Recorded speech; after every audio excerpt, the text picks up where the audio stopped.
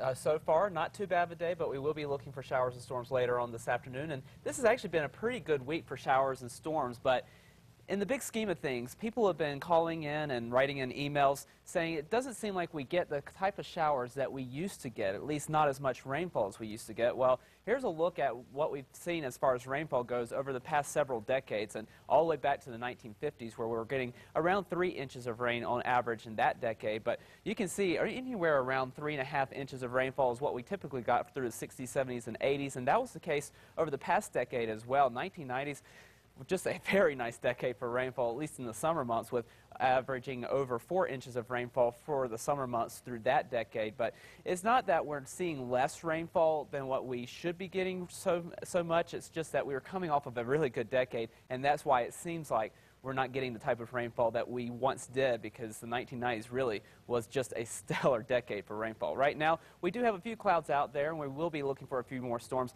going this afternoon. 89 degrees is the current temperature, and east-northeast wind at 9 miles per hour. We're looking at temperatures mainly in the 70s and 80s over the northern mountains into the 90s as you move out toward the east. 92 degrees in Tucumcari, 91 for Roswell, into the 90s as well for T or C, 79 currently in Silver City. We are looking at just a few showers and storms now starting to get going over the northern mountains mountains right now, and a line of showers and storms now making its way through Grant County. That's going to continue to push to the west, and we'll be looking for this activity to fill in throughout the afternoon. Not a whole lot going on across the southwest right now, but again, the activity will be filling in throughout the afternoon hours as we watch that backdoor cold front that brought all that shower activity to the northeast yesterday. That continues to push across the state. That will give us some windy conditions in the metro for this afternoon with gusts around 25 to 30 miles per hour at times. And the bigger story, though, will be the rainfall that we'll be looking for. We'll be really filling in that rainfall across central sections of the state throughout the afternoon. And then beyond this front, we're looking at this area of high pressure, which will be sliding to the east over the next couple of days, and that will eventually open up that southerly flow once again. And tomorrow, we're looking at a fairly decent chance of showers and storms because we'll also roll a weather disturbance on top of this. That will enhance our chances of showers and storms, and then we'll continue with at least scattered chances of showers and storms through the upcoming weekend before this area of high pressure starts to slide back toward the state and that will dry us back out as most of the moisture gets pushed into Arizona.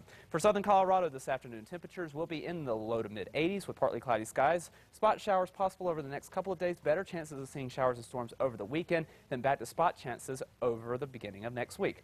Over the northwest, we'll be looking for partly sunny skies here as well. Isolated storms possible. Highs in the upper 80s to low 90s. Better chances of showers and storms through Friday and Saturday, and then we start to pull back those chances into the back half of the weekend and early next week. Southwest, numerous afternoon afternoon showers and storms, especially over the Gila, with highs in the 90s for the most part. In Silver City, we'll be in the mid to upper 80s over the next couple of days, with chances of showers and storms right on through the weekend. Over the southeast, partly cloudy skies, scattered afternoon showers and storms, but temperatures on the hot side into the mid to upper 90s.